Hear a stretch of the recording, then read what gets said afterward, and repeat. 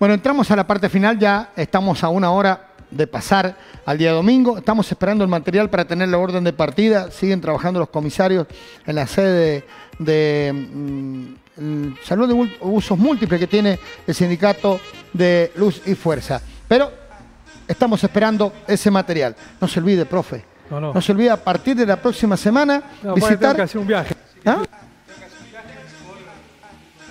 Bueno, perfectamente. Usted que quiere irse de vacaciones, mientras vemos imágenes, gracias Luis, mientras vemos imágenes de Rubén Rojas entrando a lo que es la zona del de, eh, el Caico, le comentamos que usted que se va de viaje quiere poner el auto en condiciones, quiere tener todo en condiciones, vaya a visite las manos mágicas de Ariel Tejada, servicio mecánico MAT de Ariel Tejada, afinamiento de motores, naftero y GNC, reparaciones de caja, de velocidad y embrague. Em, lo vamos a esperar, o sea, lo esperan ellos, en calle General Aracha, em, lateral este, pasando calle Roma, en el departamento de Rawson. Le digo lentamente el teléfono para que se ponga en contacto con Ariel Tejada. 264, tiene WhatsApp también. Espera que voy anotando, 264. 404 6486. Manos mágicas, Matt Ariel Tejada. 264-404-6486 para ir a visitar a Matt en su taller, el Manos Mágica de Ariel Tejada. Comenzamos a, mm, a, ingresar al circuito en el departamento 9 de julio. Dejamos atrás el Caico y el inventor de esta fuga es Ramón Aguirre, el de camiseta celeste en delgadé con blanco, el número 64, que lleva el número volado, ese es Ramón Aguirre. Lo acompañaban tres hombres más, profesor. Facundo Barros, eh, Gabriel Brizuela y Mauricio Páez. Eran los que formaban este cuarteto que intentaba, bueno, en los últimos kilómetros eh, ver eh, si podía tomar distancia respecto al pelotón. Bueno, y acá justamente está el chico de la provincia de Mendoza, Nahuel Méndez, el mono Laureano Rosas, el Pica Jácamo, Jonathan Pastrán, por ahí aparece Federico Vivas, eh, Rubén Roja, va llegando Ignacio Pérez, pero los cuatro punteros empezaban a tomar distancia. ¿Cuánto fue lo máximo que tuvieron de diferencia? Lo que tomé nota, 57 segundos, un minuto aproximadamente, cerca del minuto, del minuto lo que tuvieron de diferencia a estos cuatro fugados. Cuando ingresábamos, porque se terminaba en el sentido contrario de, otros, de, lo que fue la difunta Correa, eh, ingresamos al departamento, a la Villa Cabecera 9 de Julio, con Brizuela, con Mauricio Páez, eh, con Facundo Barro y, Ramón Aguirre. En el sentido contrario, sur-norte se iba a disputar la última meta. La última bonificada. La última bonificada era, ¿no? Sí, sí. La última bonificada, la que gana Mauricio Páez. La que gana Mauricio Páez. Pero acá estamos, transitando y buscando lo que es el triángulo de calle 11, por calle Paraguay, ruta 183, diagonal San Martín, calle 11, nuevamente ruta 183, buscando eh, pasar por la villa cabecera del departamento de 9 de julio, que tuvo un marco de público espectacular. Para eso trabaja la organización, para eso trabaja eh, la municipalidad, la policía y demás, para este gran espectáculo que se montó en el día de hoy, largando en el departamento capital y terminando en el departamento 9 de julio. En imágenes, en Guerrero, como es Andrei Sartazov, aparece también el obelisco Santiago Sánchez y así se van encolumnando busca de los cuatro hombres que habían tomado diferencia con el pelotón mayoritario donde dejaba la malla líder de Nicolás Naranjo del equipo de la agrupación civil Virgen de Fátima. Esos cuatro que no, habían llegado en el grupo de 27, por eso cierta tranquilidad de parte eh, de Nico Naranjo con respecto al liderazgo en la clasificación. De acá, de esta fuga lamentablemente, bueno, acá viene justamente la meta volante bonificada que gana Mauricio Páez. Y segundo, Facundo Barros. Facundo Barros, que es oriundo de Valle Fértil, que viene de las ruedas gordas, corrió eh, muchas competencias, es un ciclista con mucha proyección, que está haciendo su primera temporada en la capital sanjuanina, el chico que le dicen de, apodo, el huevo Facundo Barros. Estamos buscando lo que es la zona del triángulo de calle 5, de calle Zapata, ruta 155 y regresamos nuevamente para cumplir, una vez que pasamos la línea de meta como recién, dos giros a, ese circuito llamado de triángulo a triángulo en el departamento 9 de julio. Acá giramos a la izquierda por ruta 155, más bien dicho, por calle 5 con el pelotón mayoritario, tratando de acortar diferencia con los cuatro punteros. Ahí estamos en los últimos 25 kilómetros, más o menos, para que se den una idea de lo que quedaba para, para el final de la segunda etapa. Cada cual con su preparación. Nosotros acá en la provincia de San Juan, esperando lo que es el desarrollo de la vuelta a la provincia de San Juan, que pueden participar cinco equipos, de los cuales hay cuatro confirmados los equipos continentales. Todavía no se sabe qué va a pasar con el Sindicato de Empleados Públicos de la provincia de San Juan.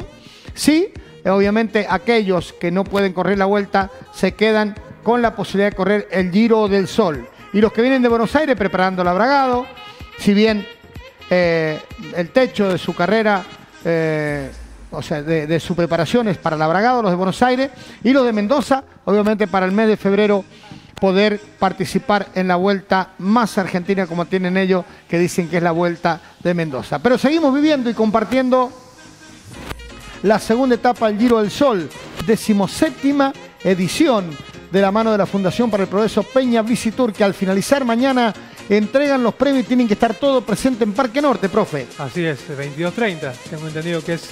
Nosotros terminamos mañana, sí. profe, y lo invito que vamos a compartir unas ricas empanadas, unos ricos triples y un buen vaso de vino, o por qué también no, una buena gaseosa o un jugo a, a, lo que es el Parque Norte, como ya tiene acostumbrado la gente de la Peña Visitur para entregar todos los premios. Y tienen que estar presentes los ciclistas en el podio mañana por la noche, si bien se va a hacer un podio eh, eh, así, obviamente sin, entregar los premios y demás, simbólico en el departamento de Chimba. Mañana vamos a los pagos de Fabián Gramajo. Espero que esté Carlitos, el profe de Mercado, el profe Carlos Mercado. Hincha de Vélez. Hincha de Vélez. Este, tirando facha mañana en el departamento natal de ellos, que es el departamento de Chimba. Se estaba terminando la historia, se bajaba de la punta por una pinchadura Facundo Barros y estamos entrando en zona de definiciones. Embalaje masivo, alguien intentará algo, como pasó el fin de semana pasado con Maxi Richesi con el Nico Ivani. Bueno, y acá estamos, mira el marco de público. Y se va a venir el final de la carrera.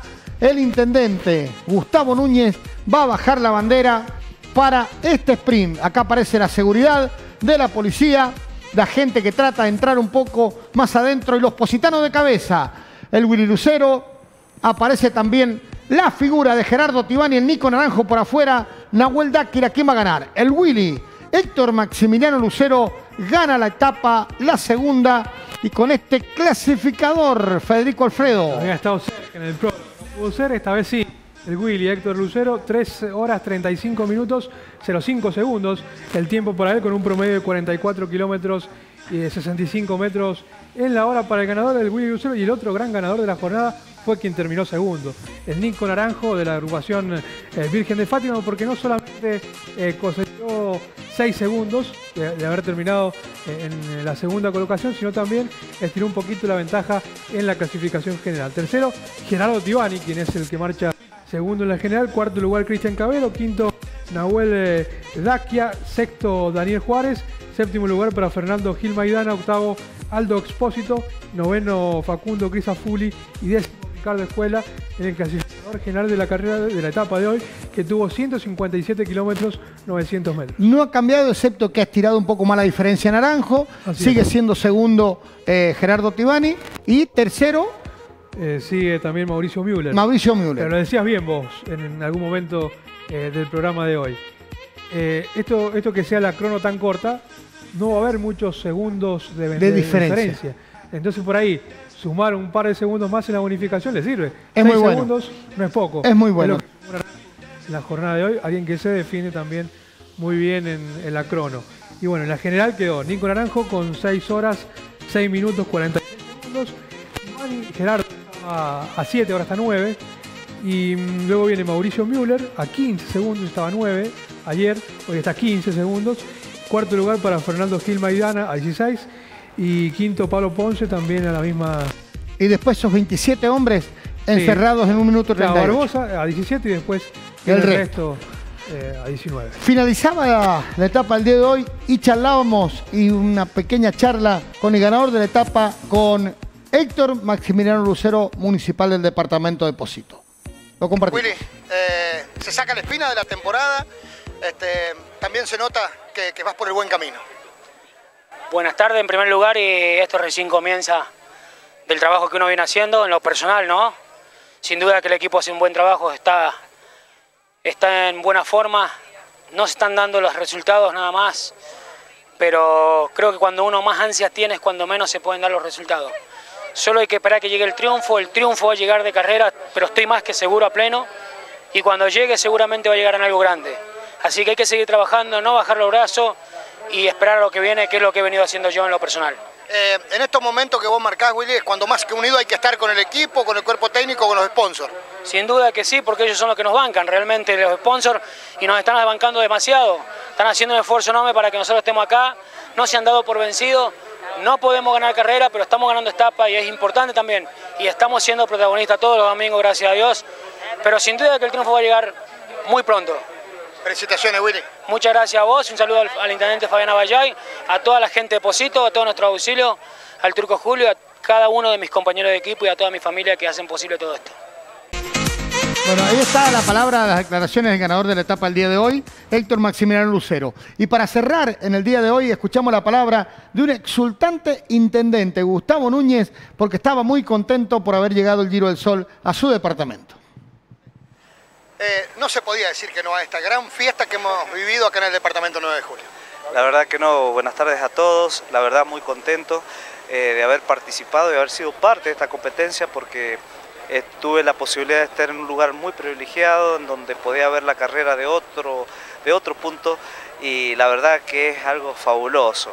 Esta experiencia vivida es algo único que he podido hacer en todos estos tantos tiempos que siempre yo vivo sobre la ruta 20, siempre la doble difunta Correa la veía pasar dos segundos y nos, emocionaba. Eso hablaba de la pasión que tenemos los, los sanjuaninos, los nueve jurinos por, por esta disciplina deportiva que es el ciclismo. La verdad que muy contento porque la organización es fabulosa, ver cada detalle de la organización, de cómo se mueven, la verdad que, que es algo que no tiene, hay que estar para vivirlo, hay que vivirlo a eso para saber cuál es el apoyo que, uno tiene que dar a estas competencias, porque es algo, algo sin duda que, a muchos eh, sanjuaninos les gustaría hacer. Hay muchas cosas para destacar, la organización, la policía, pero por sobre todo las cosas el marco de público que se trabaja de la organización con el apoyo de ustedes para la fiesta del pueblo. Sí, es una fiesta para el pueblo, es una fiesta en donde eh, acá se ve que la pasión que llevan en la sangre los, nueve julinos, han visto el marco de público, muchísima de la gente, un porcentaje mayoritario, son de acá del departamento, vean cómo cortaban las rutas y sinceramente eso es algo hermoso porque eh, ¿qué es lo que esperan los ciclistas? Un aplauso, un grito, un aliento y eso es algo que no tiene precio y el gran esfuerzo que ellos realizan para poder hacer esta disciplina vamos a estar siempre al lado del deporte. El deporte es uno de los pilares fundamentales para cualquier comunidad. Una comunidad no, no, no crece solamente en infraestructura, crece en deporte, crece en educación y por ello vamos a trabajar y cada vez vamos a ponerle el empeño que más podamos para esta competencia. Gracias, Intendente. No, gracias por estar y felicitarlos a ustedes también por la labor. Los he visto en varias oportunidades, como llegaban a la punta del pelotón, se iban para atrás y bueno, y con los riesgos que conlleva todo eso. Un poco asustado al principio, pero bueno, de, poquito me fui acostumbrando a, esta labor que ustedes ya están acostumbrados a hacer eh, desde hace mucho tiempo. Sin duda que lo demuestran en la calidad de trabajo que tienen. Bueno, compartíamos este momentito con el intendente, a cual agradecemos también por el apoyo y por estar con Ciclismo Total acá en el canal 35 Grupo El Sonda. Profe, nos vamos despidiendo. Así es, mañana será un día de definiciones. Habrá que ver si el Nico Naranjo puede mantener eh, la punta. Y ganar por segundo año consecutivo. Así es, seguramente no va a poder dormir en la jornada pensando en lograr ese logro que no lo han logrado muchos ciclistas. Totalmente. El chino Saldaño nada más lo ganó dos veces, creo, ¿no? Bruneta también, nada más. Bruneta. Bruneta también. Dos veces, nada más. bueno, profe, hasta mañana. Hasta mañana, nos vemos. Bueno, eh, yo lo, que sí le puedo asegurar que la competitividad, que el espectáculo está asegurado para el día de mañana. Doble jornada. Mañana lo invitamos 9 horas en Vidar y calle 11 en el departamento de depósito, punto de largada y de llegada. Van a ser 8 kilómetros y fracción. Y por la tarde, largada y llegada en el departamento de Chimba, frente, por calle Salta es la, largada y la llegada porque la Mendoza está rota.